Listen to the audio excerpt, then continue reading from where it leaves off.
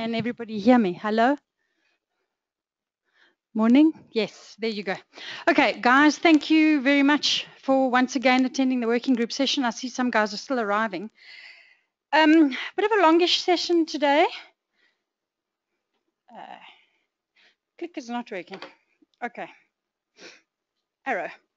All right, so I'm going to do a very quick ITAC user readiness checkpoint. We are then going to go into the collateral management sort of overview, uh, a recap of how it works in the JSE systems, hand over to Strate. They'll explain how they handle uh, collateral management within their systems. We're then going to come back and Martin will do a presentation on the off-book trade reporting model and how it integrates into the deal management system within our real-time clearing system. Okay, just a reminder, the slide, as I said, is always going to be here. Equity market upgrade is Q3 2016, and then our equity derivatives is Q2, Q3 2017, and two months thereafter we would put in the currency derivatives. Slide's always going to be here. As I said, we're going to remind you. So we've had five working groups to date. Um, we like to think that they've been successful. We hope that you've had some value out of them. Um, on average, we've had some good attendance. We've had about 115 people on site attending, and we've had on average about 22 people through the webinar. So I think some people are still battling to get the webinar working. We've been trying to help them out and test with them, and hopefully we get more guys online as well. Um, we clients did request that we give more information in the agendas. So I don't know if you noticed in the last one, we're trying to give you a brief description of what the topic will cover so that you can then use that to decide who in your office is coming. So although we think we've had good attendance thus far, we are concerned it may not be enough and we don't think that there is yet representation from all clients. We are busy doing analysis of who's attended which sessions and we will pick that up with you, uh, specifically where we perhaps see a firm has had no attendance thus far. We'll obviously like to make you aware and say, look, you should be participating. Um, all the previous working groups are at the link on the website straight after the presentations. I typically put them up there um, for your perusal so that you can have a look at them. And again, we urge that if we don't have the right contacts and the invitations are not going to the right people, you tell us who they should go to because we really need you to make sure you have the right level of participation for your firm. Um, the working groups completed to date. Obviously, today we're in progress uh, with the one on the 24th. There's one remaining for September, October, November this year. Uh, as you will see, we've put a note on the one for Monday, the 19th of October. I don't know how many of you are aware about the Eco Mobility Festival that's going to be going on in Sandton and the whole area around sort of Sandton City up until the JSE is actually going to be cordoned off and restricted to public transport only. You will be able to get to the JSE, but we are concerned about potential delays and, uh, you know, that might be incurred because they're changing more into a one-way, etc., etc. So we are potentially looking at another venue although if eco-mobility does become a permanent solution, we'll have to work around it anyway. But for the 19th at this stage, we are considering moving it to a venue maybe outside of Sandton, just to make it easier and more accessible for clients to join us. Uh, if you have some thoughts on the matter, please feel free to let us know. Okay, so I hope my uh, laser pointer is not working. Okay, so I'm going to walk over to the screen. Give me a quick sec. So we've covered quite a bit to date. Oh, I can't do that, otherwise they won't hear me. So we've covered quite a bit to date. Uh, and I'm going to go through the detail now. We've sort of touched on some end of day reference data and we've touched on some of the market data gateways at a very high level. Um, but as far as trading and clearing goes, this is your detailed trading diagram for the equity market, detailed trading diagram for the derivatives market, which will always be in your pack, just to remind you. And to give you guys a little bit more context about what we've covered to date. So from a trading perspective, oh, sorry, it was too slow for me. Okay, so we've done the ITAC timeline principles and explained to you how much notice we feel we'll give you for the relevant periods. We've gone through the project 1A and 1B scope. So everybody knows 1A is equity market upgrade, 1B is equity derivatives, followed by currency derivatives. We've done a high-level trading overview of the functionality that's available. We have done the high-level trading daily life cycle. We've also made you aware of the trading front-end decision. We will no longer be providing a trading front-end, and this is a very important thing for clients, and we are going to be having a showcase day with our software providers.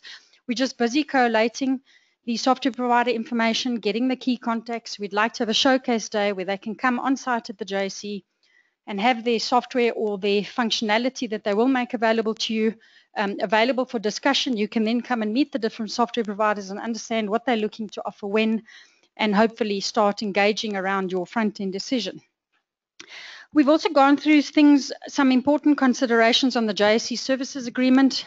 Okay, the fact that it currently is used for the equity market, not used for the derivatives markets, but if you need connectivity to the derivatives markets, both for trading or clearing, you will be signing a JSA schedule. We've also given you some considerations for if you want to use shared infrastructure, you can, but you have to use an accredited SIP. We will obviously go into more detail around those topics at a later stage, including the fact that if you want connectivity into the JSE, you must go through an accredited network service provider. We've spoken about um, high-level functions and messages of the trading gateway. Obviously, once the detailed specs come out, we will go into more detail. We've given you an overview of the trading firm structure, We've given you an overview of the trading drop copy functionality. We've gone through the entity and account structure diagrams and we've touched on user access and enablement and how we propose it'll work and some of the standards we're looking at using. From a clearing perspective, okay, again, the ITAC principles, we've done the scope, similarly the way we did for trading. Uh, we've given you a high-level clearing overview, uh, we've actually made you aware of some of the clearing member topics that we would like to discuss with the market and give you feedback on things like collateral management, uh, the trade reporting model, which is going to be covered today. Uh, again, important considerations, your JSA, your SIP, your NSP, that's all going to be applicable. Deal management front end, again, we're not going to be giving you a front end for derivatives. The current front end that's in use by clients falls away and that you guys need to start engaging with software providers to replace those. Um, we've given you a high-level daily life cycle of the clearing system. Uh, we've gone through collateral management in some detail. We're going to recap a little bit today so that you understand how it integrates to Strate. The single integrated end-of-day process, we've taken you through around our thinking and how we believe this is going to work. Um, interfacing to clearing, so in other words, how you will do real-time clearing and the eMAPI API and the functionality that it's going to give you for deal management very much at a high level. Again, once the specs are published, we'll go into much more detail. Um, we've spoken about the alternate clearing member concept. Um, we've spoken about the real-time clearing interfaces and the functionality that you'll get, and obviously gone through the deal management functions. So it is quite a mouthful. It's quite a lot. All of this is sitting in the previous presentations. If you're looking at this thinking, huh, I never saw that, please go look at them. If you have any questions, you can let us know. So we're trying to just contextualize this because some of the guys have said, mm, don't quite know where sort some things fit in. So we're trying to build the picture and show you logically where some of the stuff fits in. That's it. I'm going to hand over to Alex. Thanks, Sharon. Thank you, Sandra. Uh, morning, everyone. As Sandra said, um, there has been some feedback on the, uh, particularly on the deal management and clearing side as to, uh, you know, good sessions, but um, some people are struggling to see where everything fits in. Uh, with Nutron Nucleus today, trading and deal management is very much tightly coupled. Uh, in the new world, you're going to have the Millennium IT and Cinnober being very much loosely coupled. So we just thought to give you um, a summary of the functions performed by the, the platform and, and just sort of recap topics covered to date and then we'll get on to um, collateral management, a very brief recap of JSE collateral management, and then Anthony van Heerden from Strate giving the, the Strate perspective on the collateral management solution. So uh, this is a, a, diagram just summarizing the functions of the clearing platform uh, and putting it into context as to which entities and, and other systems interface with, with uh, the real-time clearing system. So the first, uh, the first function is receiving the trades. That will be done in real time as trading is happening throughout the day. Deal management is then facilitated on the clearing platform. Uh, as trading and deal management occur, position keeping is performed and position updates are published on, on the eMAPI. Um, risk management, key function performed by clearing. uh, both the, the intraday, i.e. post-trade risk management um, in, in real time or near real time, and the end-of-day margining, margining runs. Uh, collateral management and settlement, which are now very closely uh, interlinked, default management, and then um, a number of non-market facing functions, uh, valuations, stress testing, back testing are also performed. And underlying all of this is reference data. Uh, the master reference data lies outside of uh, RTC, but of course there are reference data, reference data management functions performed by RTC. Um, we see clearing members and trading members interfacing with the RTC uh, system via the eMAPI. Um, we've then got the important touch point to the Strate collateral management system, and, and we've got uh, clearing members, trading members, clients, and CSDPs interfacing with that system as well. Uh, interfaces to the settlement banks and authorized FX dealers for the payment of um, margins and other and, and fees payments. JSE internal systems, like I said, master reference data is housed in that block. Um, our central billing system is there. The JSE bottom left corner, JSE information delivery portal, that's IDP, is where we'll be publishing most of the static end of day type of data in the form of files. And of course, top left interface to the trading system. So I'm just going to run through the topics that we've covered to date um, in various categories. The legend on the side, if, if it's marked with a green uh, dot, then we've covered it and covered it fully. Um, don't intend covering it further unless there's specific request to do so. If it's yellow, we'd ha we've had an initial session at a high level and we're planning further coverage, and then red is not yet covered. So we've given an, an overview of the clearing uh, system and its functions and the daily life cycle. Settlement and collateral management, as I said, these are uh, sort of very much linked now. We've covered the, the move to a single end of day run, uh, the end of day balancing process, the settlement of margins and fees and other cash, um, and, and the fact that we're going to, as today, provide for an ad hoc intraday margin call. On the collateral management side, we've had sessions both on the principles and the processes for the acceptance of securities and foreign currency collateral, uh, covering both the end of day and intraday processes. And as I said today, Anthony will give us the Strate perspective on that solution. Margin methodologies we covered at a very high level. Uh, the main message there is that we are going to be going live with the current JSPAN methodology with any existing uh, margin add-ons, the liquidation large position add-on, and that we're looking to move in future to a HISTVAR portfolio margining methodology, which will give us greater flexibility in margin offset. Um, as I said, they're not going live with that. The other key message there is that we, we welcome software providers to develop uh, systems to replicate the margin methodology to help clearing members balance at the end of day. So we encourage you to uh, contact our risk team uh, we the, the, the, specs, the specs are on the website and we'll be publishing any updates in due course and let you know about those. Post-trade intraday risk monitoring, um, we covered this briefly with the clearing members last year, but in the formal working group sessions, we haven't yet covered this. It will be in one of the upcoming sessions. And this, this is about the uh, intraday risk uh, exposure limits um, that are going to be monitored as trading and as deal management is is happening. Um, we'll be recalculating initial margin and other risk exposures, comparing that to limits set by the, the clearing house and the clearing members and members. And if those limits are neared or breached, then exposure updates and alerts are published on the API. Default management will cover the, the, the, default of a client trading member and clearing member. Like Sandra said, we did uh, in a session with the clearing members earlier this year, touch on the concept of alternate uh, trading members and clearing members. Um, likelihood is that we won't be introducing that concept, uh, at least not for, for phase one go live. There are a lot of practical and cost implications of that. right, the other, the other main uh, category of functions performed by the clearing system is deal management. Um, we had a session on the 15th of July where we communicated principles uh, relating to the trade reporting and deal management in an agency and principal capacity. Um, and there was also an equity derivatives market notice that went out on the 14th of July around that. And today we'll unpack the deal management functions in context of those principles in more detail. Then looking at uh, some of the more, more technical aspects, we covered entity and account structure. Uh, we covered user access and, and, enablement.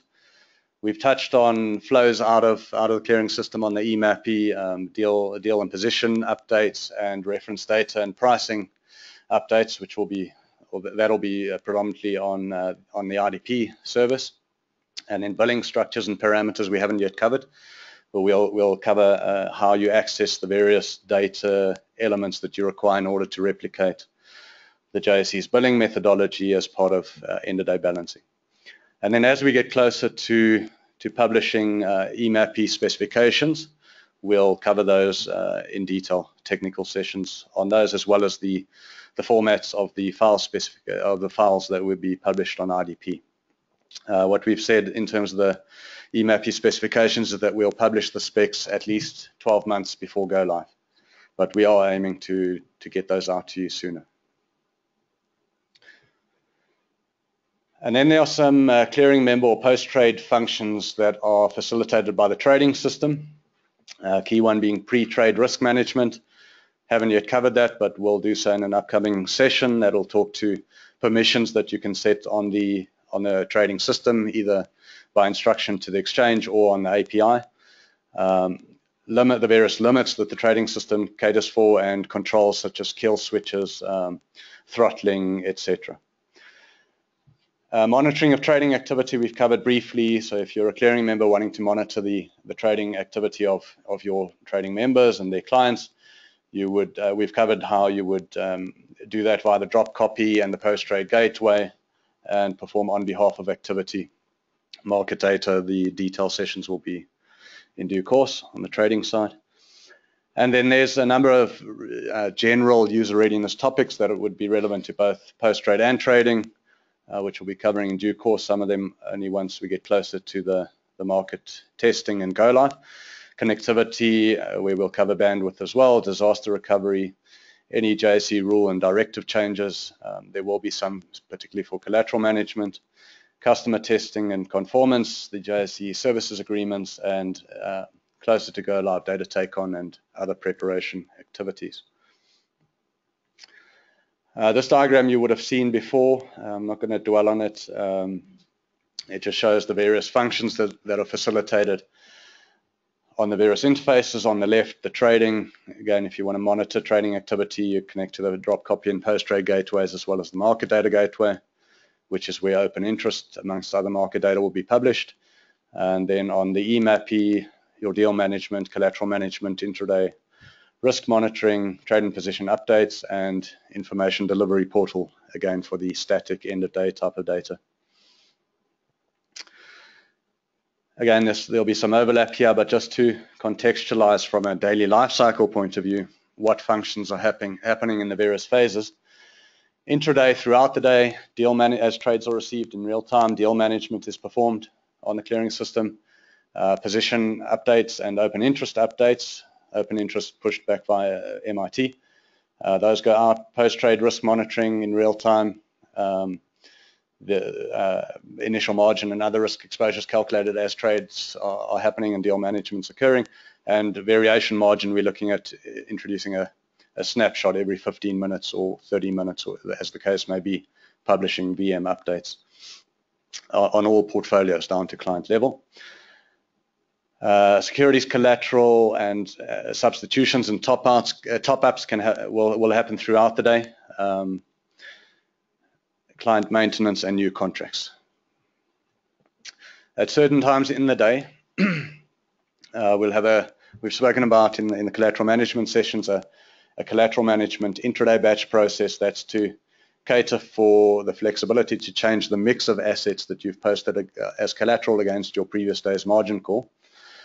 Um, as today, you'll have your, your cash payments of the previous day uh, margin call due by 12 o'clock with the acceptance of foreign currency, that'll that'll be applicable as well. Benchmark rates such as your JIBARs published as well at specific times in the day, and then early valuations prices like today for the unit trust uh, managers uh, published at a specific time.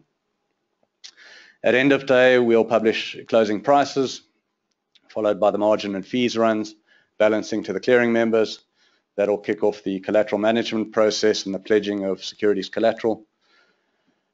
And then uh, calculation of the ZAR and the FX cash payments to be settled the following day. And finally, preparation for the next day. Um, we are envisaging to do this at end of day, so there isn't a rush at the, the start of the day the following morning. It's the download of margin parameters, uh, various reference data, fee parameters, etc. Other end-of-day processes, um, these are non-daily processes. On a monthly basis, interest on cash uh, is paid, uh, calculated daily, but paid on a monthly basis. and portfolio transfers and corporate actions as and when they are applicable. And I'm going to hand over to Brett now just to, we're not going to recap in detail on collateral management, but just to introduce Strate and refresh your memories as to what we've covered in previous sessions. Good morning, everyone. Um, as Alex has mentioned, it is more a recap before I hand across to Anthony from Strate to go through their solution itself. Um, so just touching on a couple of things. The first part, as presented previously, we are looking at taking securities collateral and potentially foreign currency collateral as part of our project one when we go live with the interest, uh, interest rates, equity derivatives and currencies. Um, there are still discussions happening with the Sovereign National Treasury in terms of the currency at the moment. Um, in terms of securities collateral, what we have agreed is there's a couple of things around that is that it can only cover your um, initial margin and uh, additional margin would have to be still covered in ZAR cash, unfortunately. Um, and we've also agreed that there would still be a percentage that is called as ZAR cash as part of that initial margin. So we will not take the full 100% as securities collateral. There still would have to be a ZAR cash element that's associated with that as well. Um, the second part in terms of the foreign currency, as mentioned, we are in discussion with National Treasury and SARB, and we are hoping to have that pushed through before go live of, of Project One, which will allow more than one residents at the moment to put up currency collateral, which is where the SARB's view is at the moment, and we, we are trying to see if there's other areas we can push that as well. Um, in terms of the solution and integration, we will be using Strate's collateral management system, which Anthony will be going through some of those details. So we have given notes that we will be using that system. And more importantly, which is the next part, is the pledge construct. We, we are going to go through a pledge construct opposed to the outs and out cessions. And the big thing that sits behind that as well is that those pledges will be directly from the client or the trading member into JSE Clear, so it will not go through the clearing member. It's a direct pledge, which will be perfected within the JSE's rules when we, we change, change the rules itself. So from a structures perspective, we'll go into those details in subsequent um, sessions as how you load those accounts, what you get notified in terms of the securities collateral that's been pledged. And also when we go through default management, we're going to have to explain to you what happens in a, a situation where there's a default and what happens with the actual securities collateral itself and currency for that matter.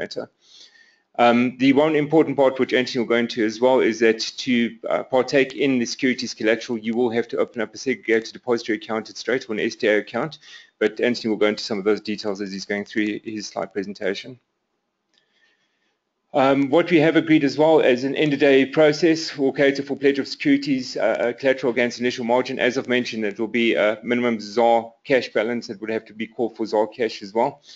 Um, the intraday processing will cater for changing of the mix of the collateral or top-ups or the release of securities and cash, which I'll go into a bit more detail. The intraday batch process, and here go into the detail, um, the intraday batch process, this is an outstanding discussion with the clearing members at the moment in terms of the timing behind this. But what we have looked at is on Strate's um, settlement side of things, so bonds and equities, what time those settlements normally happen. And the logic there is once that settlement happens, purchases, which would have settled, would then become available for securities to be pledged again. So we're looking at about 11 o'clock in the morning. But that also is dependent on commercial bank funds as well, because once we do the core of cash, release of cash, the clearing members got to pay to the trading members and to the clients. So we need to make sure that there's sufficient time for them to do that through central bank funds before they close for the day. So we have put down at the moment 11 o'clock, but that may change as we get closer to, um, to, to the time period that's involved. Um, the substituting of securities for cash and vice versa, and literally the way we've actually designed this is that um, at the 11 o'clock cutoff time, we could have a situation where we will release securities for cash. So basically, the guy's got a purchase that's settled, the securities become available, he now wants cash back, so we then release the cash back to them.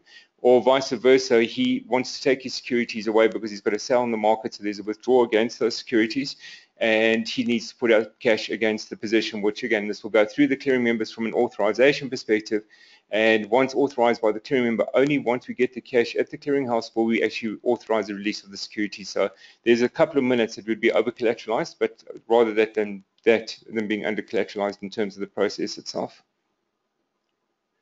Um, regularly throughout the day, the Strate will do substitution. So literally, we will give them a, um, a, notification in terms of what securities are available or allowed to be pledged to the clearinghouse. Um, throughout that period, they can substitute the different securities to make up the, the amount that is required from a JSE clear perspective. Um, and as part of that process, the JSE will also give them new values or mark-to-market values throughout the day as well for them to do mark-to-market top-ups around the actual securities. So with revaluing the securities, Strate will then do a top-up of other securities to make up the balance that is required. Or if there's no other securities, they'll then notify the clearinghouse, will then initiate a cash call, which will be at the 11 o'clock cutoff time as well, to top up that initial margin or the actual margin held by the clearinghouse itself. Is there any questions before I hand across to Anthony? Welcome, Anthony.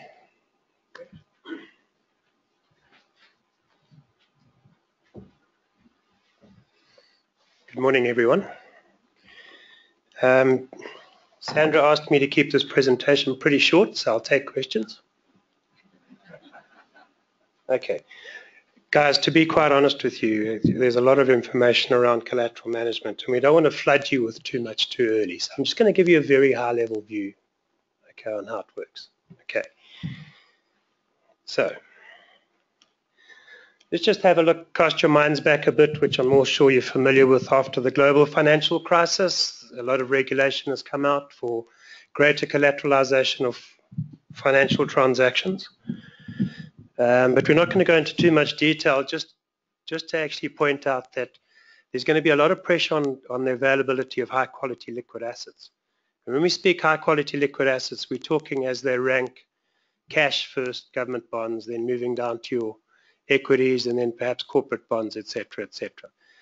So by the construct that the JSE are using, okay, which is pledge, it's going to lock up quite a lot of high quality liquid assets, which is going to make a bigger call on cash and it's going to make cash a little bit more expensive to place.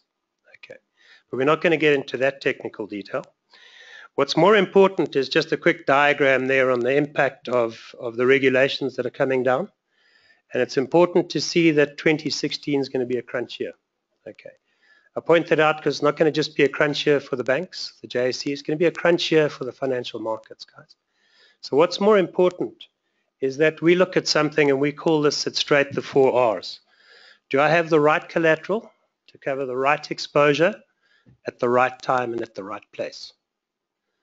Okay, so just bear that in mind that if you don't have automated systems when it comes to moving your collateral around to make sure you get it to the right, uh, across the right exposure at the right place, it's going to put a lot of pressure on you from an administrative manual intervention point of view, which will bring with it a lot of operational risk. Okay, so one of the reasons why the JSE have partnered with us, not because they're a big shareholder, that's because we have an automated solution that's been provided to us uh, by an international CSD called Clearstream. That solution has been in operation for 25 years. They service 74 central banks around the world, and they've provided this collateral management solution to us on a white label basis. We're not the only CSD to be using it worldwide. Uh, the Australian Stock Exchange are using it. Spain are using it. Brazil have been using it for three years. Canada are looking at it. Singapore coming online next year. Norway are coming online next year, and there's a couple of others in the pipeline. So it's a well tried and tested reliable solution, fully automated. So overall how it works, okay, and why it's Strate actually involved in it.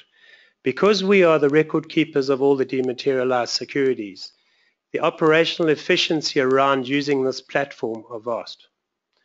So the platform, which you can't see because it's a, a very light colored circle there, the platform effectively manages matching your collateral exposures where it's on a bilateral basis and for ITAC it's going to be on what we call a unilateral basis.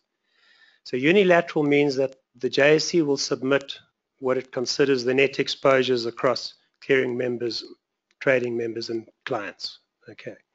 And because they're going to, excuse me, be acting as the CCP, whatever their net exposure is, that's the correct exposure.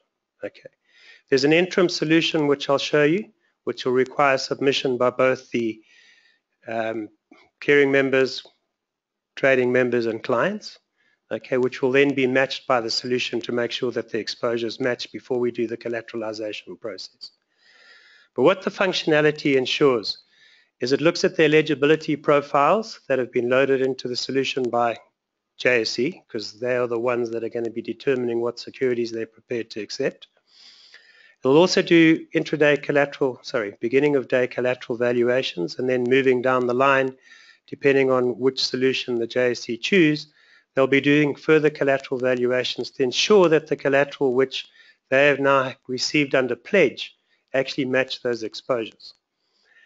There's automatic collateral allocations done by the solution, so it's not that you, as the brokers, would have to manage which collateral you would be placing. That is something that as the brokers you would set up in the solution with Strate to determine which priority you would like to place those uh, baskets of collateral in. It also handles automatic substitutions, which Brett has touched on. And those automatic substitutions, if for example you've got collateral placed with the JSE, if your trader decides to sell it because we are the settlement uh, around bonds and equities, Strate will be aware of what settlements should be taking place and substitutions will be triggered automatically by the solution at Strate.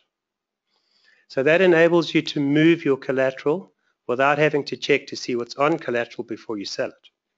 Guys, there's a lot more detail that goes into this and I don't want to kill you with slides because there's still quite a lot of information to follow from the JSE on T3. As Brett mentioned, there's automatic top-ups, returns, and cash calls, also automated within the solution. And finally, there's reporting. So that's how the solution sits on top of Strate. Because the solution is going to be generating what we call the collateral calls, you no longer have to send settlement instructions to your CSDPs for the pledge instructions, unless your CSDPs choose that they still want to match your instructions against what the collateral solution is calling.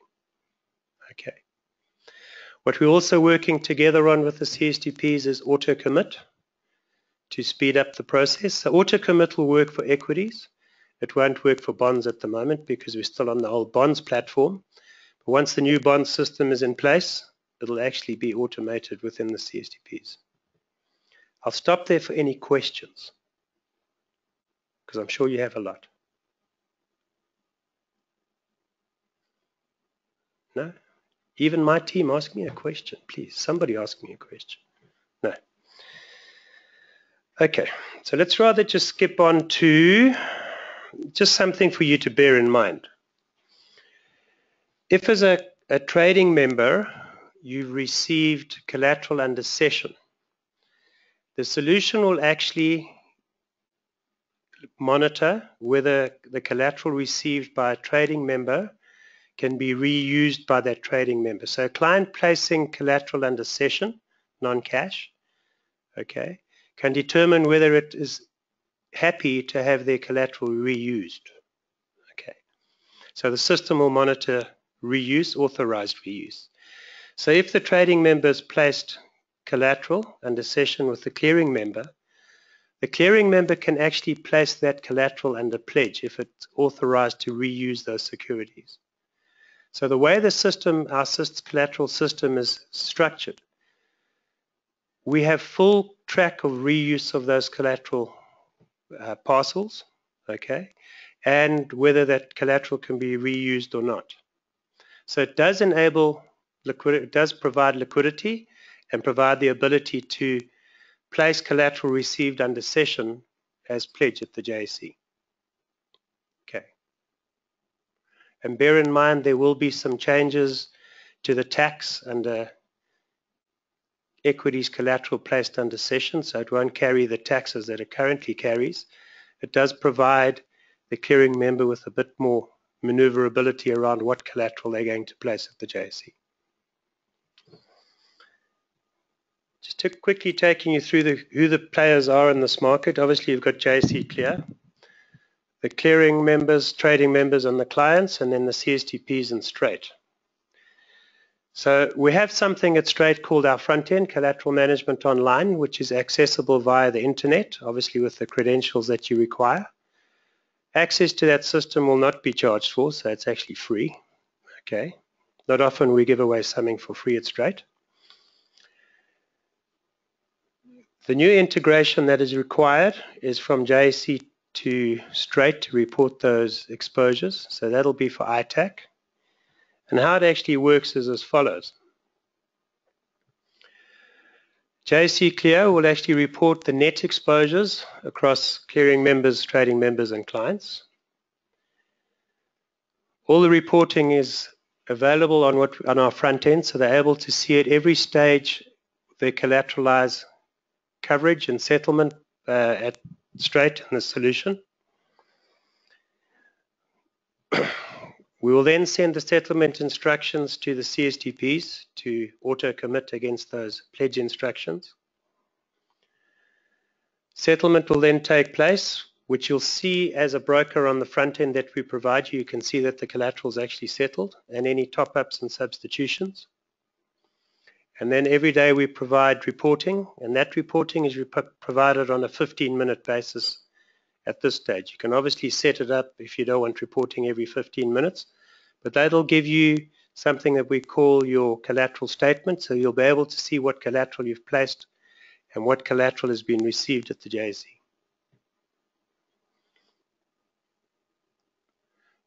The interim solution that is being proposed for add-on margin works exactly the same except for two things. Firstly, JSE Clear will be submitting the instructions via a CSV file to Strate. It does require the broker to submit their net exposures to Strate, which will then match those exposures, send the settlement instructions to the CSDP. CSDP will then auto-commit. Settlement will take place, and then reporting is available on the front end, plus we send reports in hard copy. Now what's important about the solution, as Brett mentioned, is an STA account needs to be set up at Strate, but that gets set up via your CSDP and they still admin, administer that uh, STA account. We call that account a target account because that's the account from which the collateral solution will select the available securities in line with the eligibility profiles. You can also set up, and in fact, if you're going to use the solution to manage all your collateral, you'll set up an SDA received account. So any collateral that you receive from a counterparty goes into that received account. Again, it'll be tracked whether it's available for reuse or not. Okay. High level, that's the solution. At some stage, we'll take you guys through a more detailed presentation only on collateral. Any questions?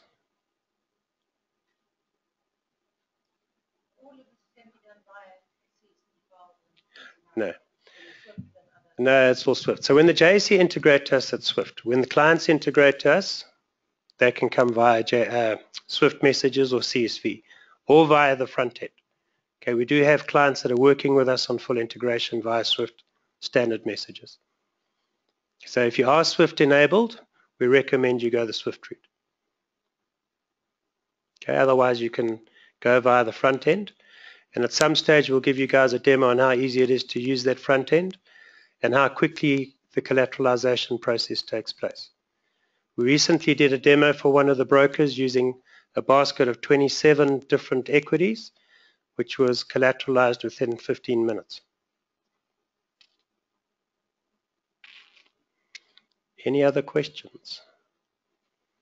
Okay, you can catch me outside afterwards and beat me up if you choose to. Or you can actually set up a meeting and we'll take you through the collateral solution in a lot more detail and give you guys a demo so that you can see how easy it is to use and how efficient and effective it is.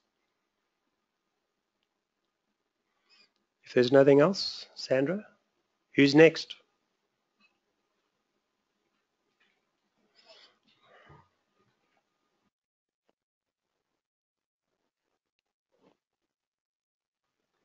Thank you. Um, good morning. I'll be taking you through the trading part of the ITAC project that we're running at the moment. We'll be looking at the off-book trade reporting model.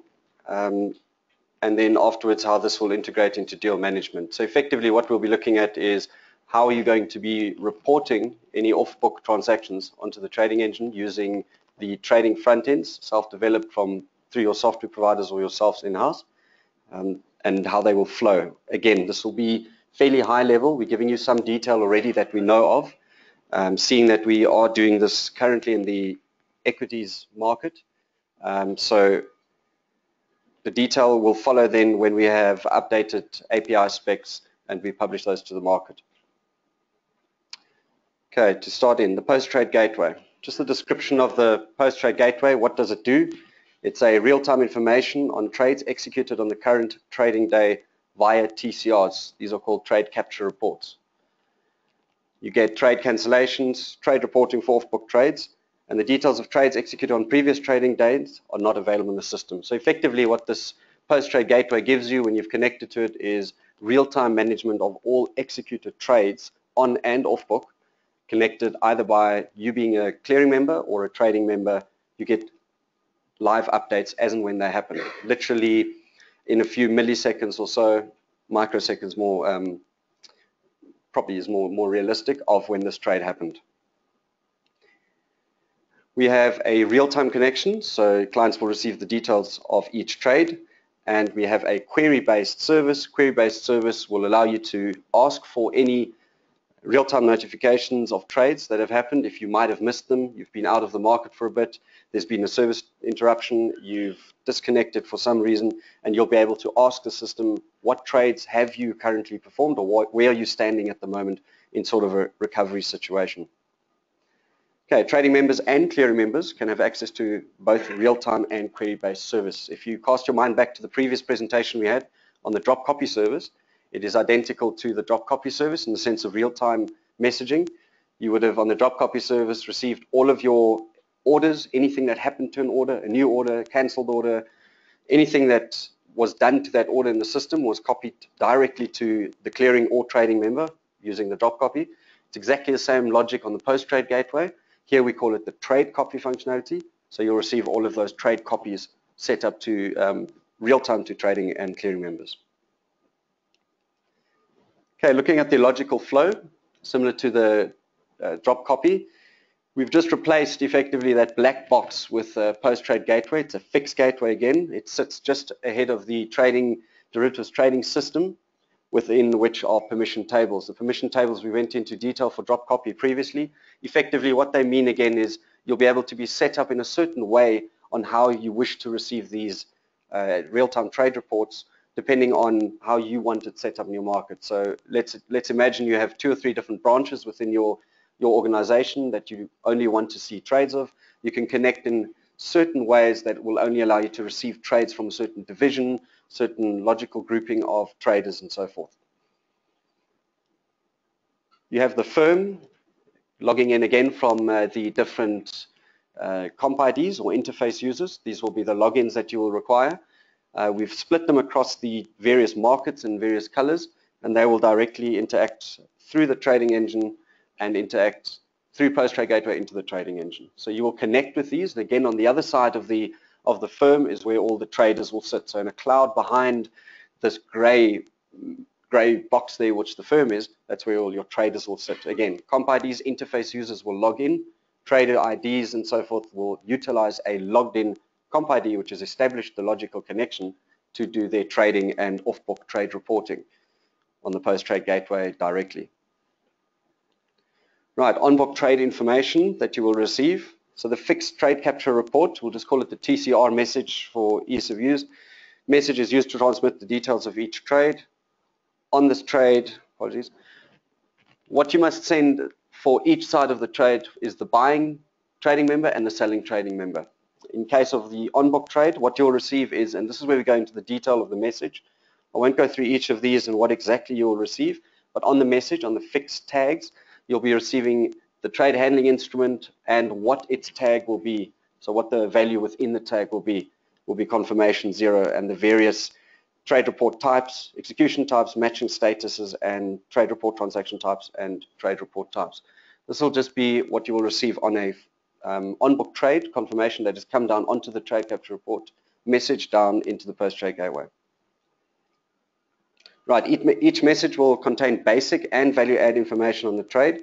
So basic information obviously includes your trade value, your trade volume, and so forth, and then value added will be the member firm, the trader group, and the trader ID will always be captured on each of these trade capture report messages.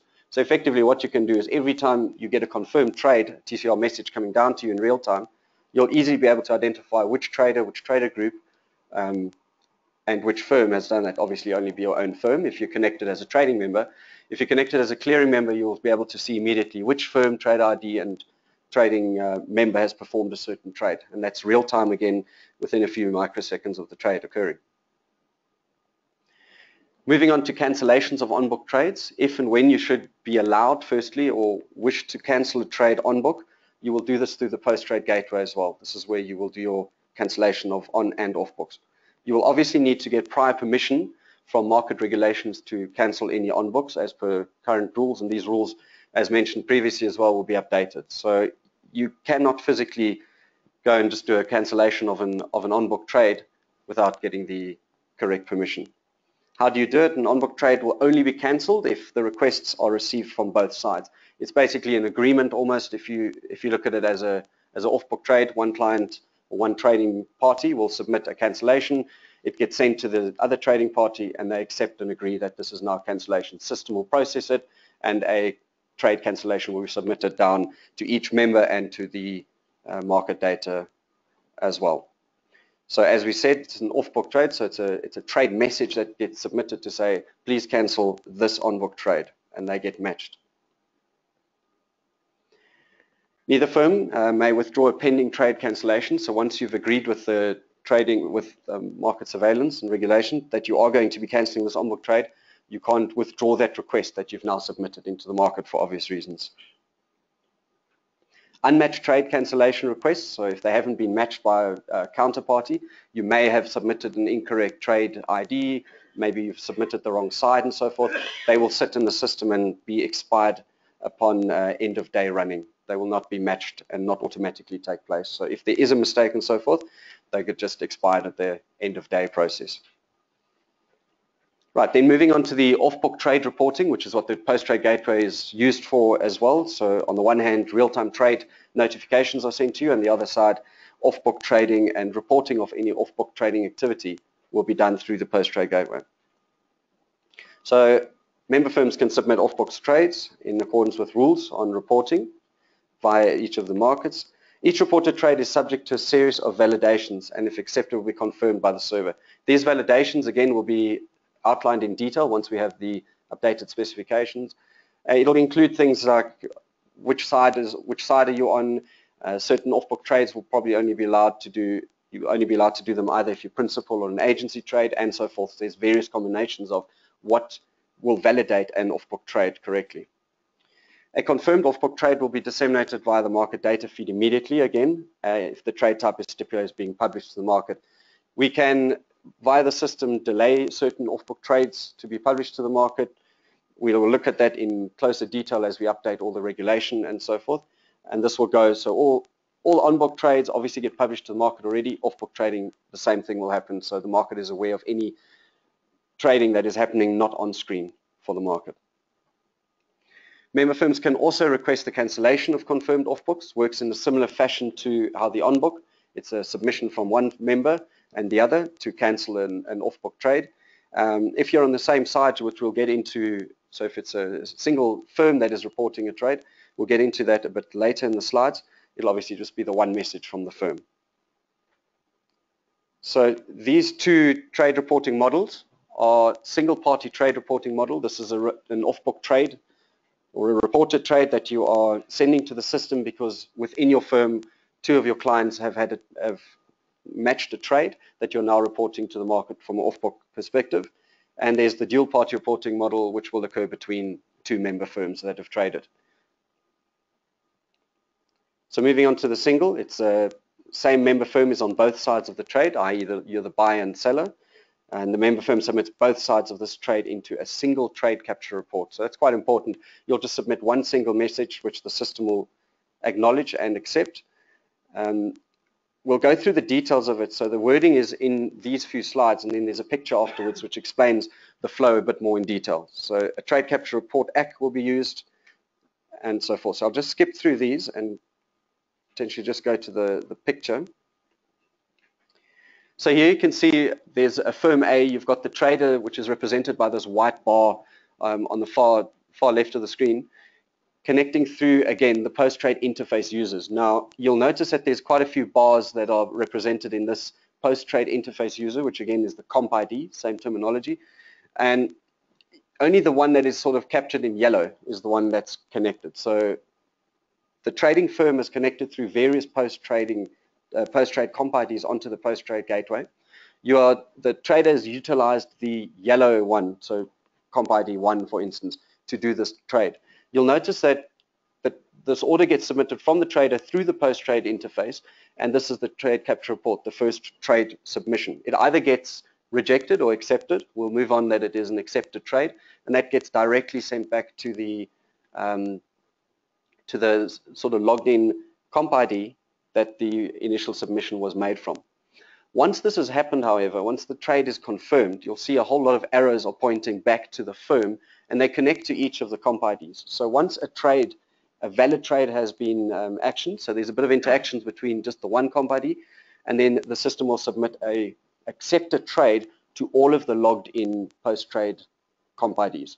Even if you're not logged in and you come in a bit later in the day, this comp ID logs in, the system will submit all of these trades that have happened for the firm, if set on this permission, to the firm. So it's just something to note um, not that you're thinking you're being flooded with uh, irrelevant information. It gets sent completely to the firm, all logged in comp IDs for that, for that firm. The confirmation will send, you'll see the, the last two blocks. Uh, there's a trade confirmation for the buy side and the sell side. Gets uh, two messages sent to you because you are in the same firm. And the opposite will happen when we move now to the, to the dual party system. Lastly, this uh, market data is updated with the trade that has just occurred. Okay, if there are any questions at this point, um, potentially. If not, we'll move on to the dual-sided trade reporting. So again, dual-sided trade reporting is just a different member on, on each side of the trade. And the uh, off-book trade is initially submitted by one of the parties. Apologies. Usually the seller, but it can also be the buyer via a trade capture report. Now, your off-book TCR must include the identity of both firms. This is how the system will recognize that you're doing an off-book with a firm. It will see the um, BIC code currently is what is being used in the equity market, get submitted to the trading system. It will recognize to which logged in uh, comp IDs of the counterparty firm it needs to send this message to say, here's an off-book trade. Do you accept or do you reject? Again, we'll just uh, skip through the, the wording because we'll explain it as we have the, the picture in front of us rather. Um, so there's going to be an accept or a decline of the system and we'll walk through the process just on the picture. So again, very similar to uh, the first picture, you have the trading firm A on the one side, but now we've introduced firm B on the on the opposite side of the system. Again, trader on the trader A on the firm A side submits an off-book trade to the system goes through his comp ID, post-trade comp ID, and is either accepted or rejected by the system. Rejections generally take place if it's malformed, there's a missing field, uh, it's in an incorrect format, and so forth and so forth. Um, any trade that is any trade capture report that is submitted with an incorrect uh, value that you've negotiated off book is obviously not validated by the system, but will then on the opposite side of the firm, from the firm B's point of view, will be rejected because you've agreed to trade at 10 Rand, but now you submitted something with 9. So the system will then, if we move to the green part, it's accepted this trade report that you've sent through as a, as a user. It sends, again, all logged in comp IDs on the firm B side will receive this trade capture report notification to say there is a pending off-book trade that you, have, you were party of waiting to be accepted. It will get sent to all of the um, post-trade gateway logged in comp IDs again. So it means that the system or software providers or software users, however you've written this interface, will need to ensure that this message goes straight back to the trader that it is intended for. So you will filter this through into the, to this, in your systems to the trader who will then acknowledge it through your front end and either accept or reject. For obvious reasons, you'll either accept it if it matches, if that's what you've agreed on, or reject if the trade information is, uh, is not the same. Assuming this is accepted, again, it's only a one, a single arrow flow that goes through the comp ID into the system and notifies the um, match that effectively takes place. Once the match has taken place, there's a confirmation that again gets sent to both parties, similar to how the, the um, single-sided worked. The buy side gets a notification to say you have now traded. This is a confirmed off book. The sell side gets the same and market data will be published once off saying there was an off book trade in this instrument for a certain value and volume. Okay, so it does look a bit uh, confusing potentially. The message flow is quite simple and in the API specifications that we will be publishing, you'll see exactly that how these messages come together. We've got a step-by-step -step breakdown of each of the fixed messages to show you exactly which tags need to be present, which tags have changed, what values should be in each of those fields, and how you recognize these trades. Any questions at this point for understanding how this off-book trading will will work in the new world? Yes.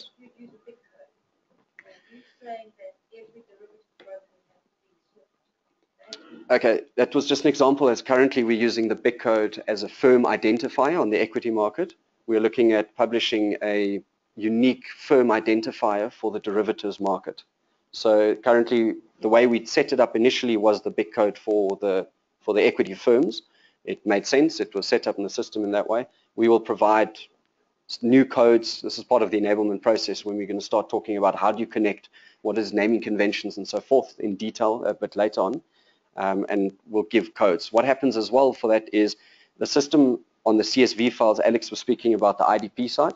On there, we, we throw all the data every morning, upload it, and so forth.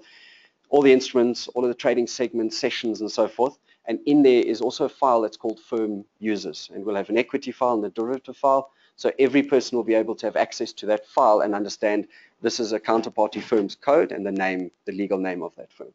And that's how you'll match it. Yes, so no. Short answer. Yes maybe getting into too much detail. We'll get there later. Okay. All right, moving on then to the post-trade gateway, the query-based service. Like we indicated in the beginning, the post-trade gateway is also used for you to submit requests and understand where you are currently trading at or what trades have occurred on your system for the day. You can set your system up in such a way that the comp ID only receives real-time confirmations of trades or the query-based client, which will only log in and request trading, which we call an own Trade Book download at the moment, at the same um, at the same time. The query-based client must send a request to the server detailing how he wants to know what trades have happened on the day. And you may use the trade capture report request message to request these details of all trades or specific trade details. And how this will work is there will be a response from the system to accept or decline this. So there's always an interaction of an acceptance or a decline from the system back to you. So your trade status message and your trade results will be confirmed, whether it's accepted or rejected. And your trade capture report request message can only be used to capture a snapshot of the current day. It's not meant to give you the trades that have happened on previous days. The system as and sort of, overriding understanding lives for the day, trades for the day, and uh, the historical data is kept elsewhere. But for the Millennium trading system, you will only be able to see what have you done today and where are your trades at the moment. So looking at if you're asking for query-based service for all trades, you will request a trade capture report request with um, the tag 569 with a zero in it. This is just an extract from our current uh, equity APIs. The field will look like this. You'll have the, the, the tag 569 trade request type of all trades. Once you submit this, it'll look at your firm, it'll look at who, who you are and just go and punt back all of the trades that have been confirmed trades for the day, off book, both off book and on book for you um, for the day. For specific trades, the system will use a similar message, except that you will now be using a different matching criteria. criteria. You can do this either by using a specific instrument ID, a type of trade, confirmation, cancel, corrected. You can look at the match type of the trade. So was it off-book, continuous trading, auction, or privately negotiated deal? Each of these will be explained in more detail once we have the APIs available. It will give you a specific party identifier, firm trader group and trader ID, and side of the trade buy or sell. The specific order will either be a client order ID or an order ID. So that will be specified within your trade capture report. So every time you receive a trade capture report, there will be an identifier to what this trade related to on an order. So you can link it back all the way to your order ID that you submitted through one of the first sessions we did, which was your native trading gateway message. In that way, you can link what is what has been executed to an actual trade capture report message saying this is a validated and confirmed trade. So again, just looking at how, how you will see this, how you'll code for this is an, a bit of extra information that you're now required to do. Instead of using tag 569 to submit a value of zero for all trades, you're going to be using it the, the value of one to tell the system that you're using trades matching a specific criteria. The bottom sort of bracket there that we've used and uh, circled in, in green is a repeating group. So you'll repeat each of these fields as applicable to what you are requesting on the on the system. Again, it'll be for an executing firm, it'll be for a trader group, or it'll be for a specific trader ID combination that you submitted. So fairly specific to what you can request this um, trade capture report of all of your trades for. Okay, and then if there are no further further questions and so forth, we'll move on to integrate how this will now integrate to the deal management system. Otherwise, you can as well catch me outside or ask me any questions. Thank you, Alex. Okay, so Martin has covered how you would report a trade into the trading system. What we want to do in this section is unpack the deal management activities that you can perform on a either a reported trade or a trade that's executed on the central order book. And this will be in line with the principles um, that we covered in the 15 July working group session, and as I mentioned earlier, uh, that were covered in the equity derivatives market notice that was sent out. And those principles relate to trade reporting and deal management in an agency and a principal, capacity. So before going into the detail of the slide, uh, the key message here and what, what that, those principles basically said is that if you act in a true principal capacity, you need to report a trade uh, into the trading system.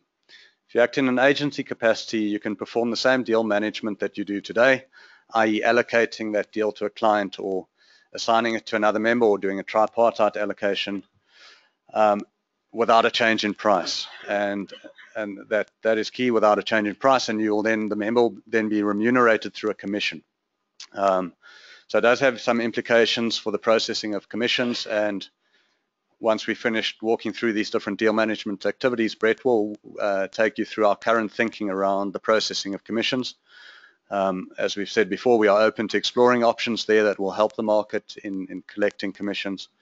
And uh, so once we give you the current thing, he'd like to really encourage input and feedback from you so that we get to a, a workable uh, solution. All right, so in a principal capacity, like I said, you would report the trade into the trading system and then there are still deal management functions that you can perform, the accumulation of deals, uh, and then functions to move deals between accounts as you have today and to deal with exceptions where you've perhaps uh, allocated the deal where you shouldn't have or allocated it um, uh, well to an incorrect client but I'll deal with the allocation in a principal capacity separately because that should really only be done on an exception basis. Um, on the agency side, we look at two states. Uh, the one is where the deal is sitting on the client suspense account, and the other where it's already been allocated to a specific client account. If it's sitting on the client suspense account, like I said, you can do many other functions you can, or in fact, all of the functions you can do today. Uh, you can accumulate those deals, you can allocate them to a client, assign to a member, tripartite, um, and you can also perform deal subaccount mods and position subaccount modifications. The definitions of all of these are in the appendix. Um, I think most of you are familiar with them. The key ones are accumulate, allocate, and assign, and tripartite, which we'll walk through in the in the next slides. Um, if if the deal is already on the client account, you can accumulate those. You can do an allocation correction. So if, if it was allocated to the wrong account, you can change the client account. And if that deal should not have been allocated to the client, you can do a principal correction to move it back to the member's house account. Uh, just some terminology, we've referred to trades and deals. A deal is essentially one side of a trade, so either the buy or the sell leg. so to unpack each of these in more detail, what you can do if you're acting in a principal capacity. Again, accumulate, uh, you can do the deal and position sub-account modifications, that is to move a deal or a position uh, between your member main account and your member sub-account or the client suspense account and vice versa. And you can do principal corrections where you've allocated that deal out to a client where you shouldn't have, it was, was a mistake, you can bring that back to the house account. uh, just to walk through the flow, um, with a decoupling of trading and clearing, that deal will be performed on the trading system. You'll receive a trade capture report, a TCR, as Martin was touching on. Uh, the deal will at the same time feed down to the clearing, the deal management and clearing system and be published on the eMAPI. You'll receive that deal uh, via the eMAPI onto your member front end, and then you can send in the instruction to accumulate or do the, do the, the other functions listed there uh, into the deal management system. As I said, uh, in a principal capacity, an allocation should be done on an exception basis only because you would have reported that deal, uh, the trade onto the trading system against the counterparty uh, involved at the at the price um, appropriate and, and, and associated with that trade.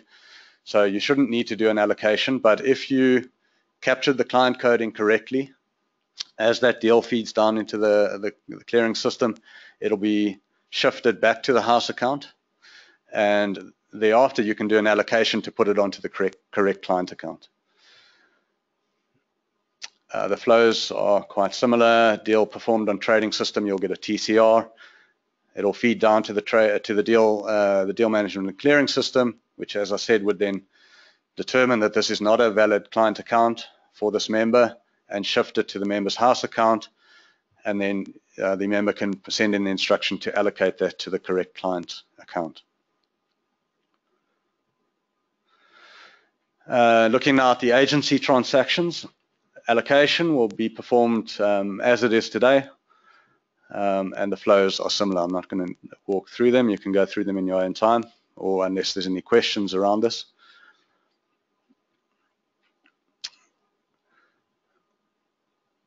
Uh, just a note, um, in the event that the agency trade is done directly on the on the client account, uh, you wouldn't need an allocation. So if you book that trade on the trading system directly on the client account, you won't need uh, need to do an allocation once it goes down to the clearing system. There's some implications here for for commissions, uh, which Brett will cover in his um, section here after. And assign, very much the same principle as the allocation and same flows. And as it is done today, uh, the receiving member needs to accept that deal. Tripartite allocation, again, very much the same as the allocation. It's just a, a, client of another member for which a tripartite agreement already exists. And again, the receiving member needs to accept that deal.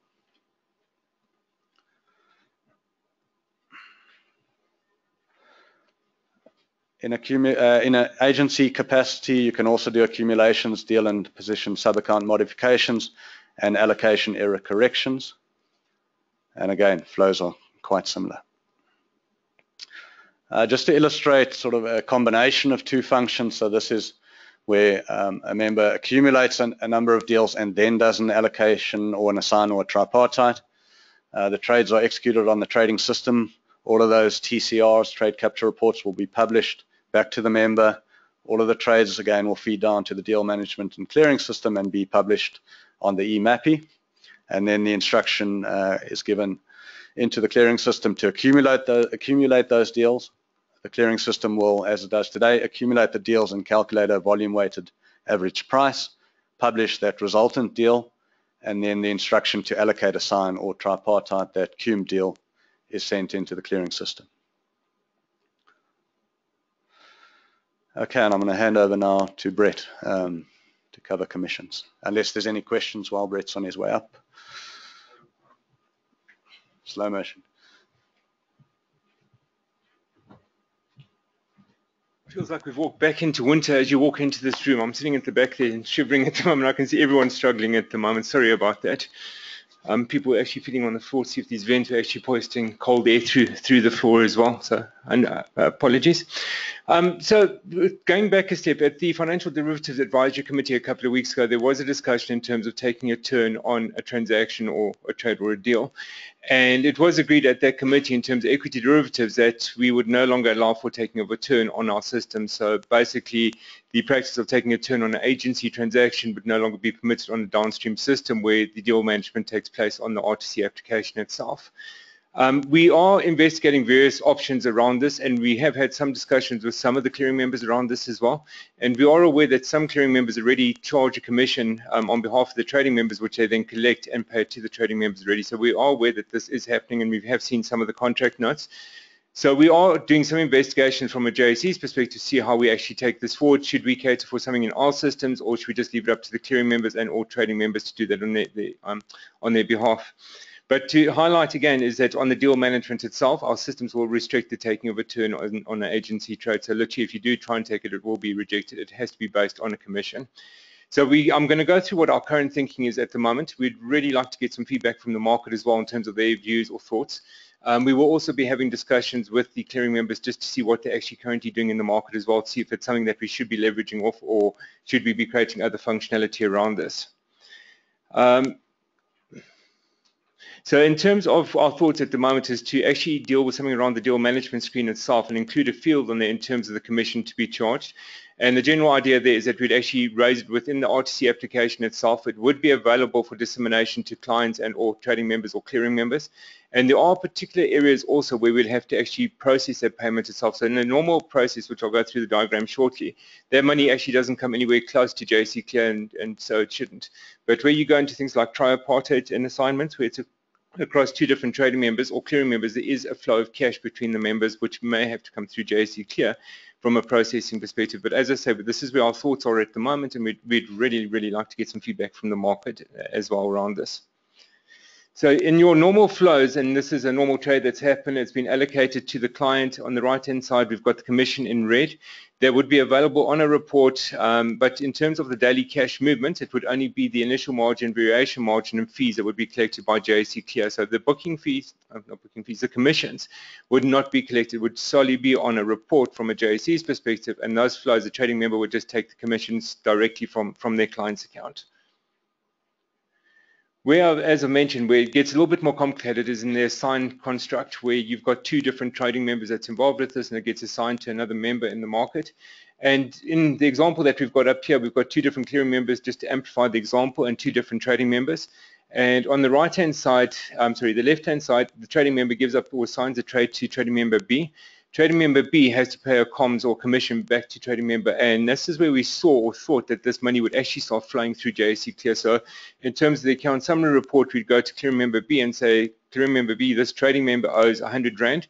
We would then collect that 100 Rand and pay it to clearing member A, which would then pay it down to the trading member itself. So this is where we started applying our minds to what those cash movements would be and where there was a collecting role for JSE Clear to play, play that role.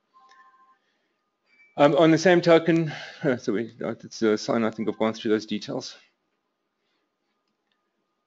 And the same thing would apply to tripartite allocations as well. So where your client's got a tripartite agreement with another trading member, same principle, the trading member A goes and does the trade, um, does a tripartite to the client B with trading member B, and exactly the same principle would apply where we'd think that in terms of the flows, if JSE Clear does do it through the RTC application, we would have to collect that money in terms of the commission and pay through the channel from clearing member B to clearing member A for payment to trading member A in terms of the commissions itself.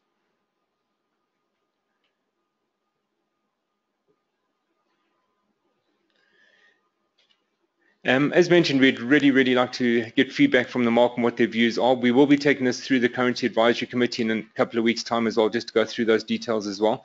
And I will be setting up some time or phone calls with the clearing members just to see what their views on what role they see JSE Clear playing in terms of the systems. That technically will then drive out our functionality or development around the systems that we are looking at doing at the moment. If There's no questions. Thanks very much. Sandra, do you want to wind up?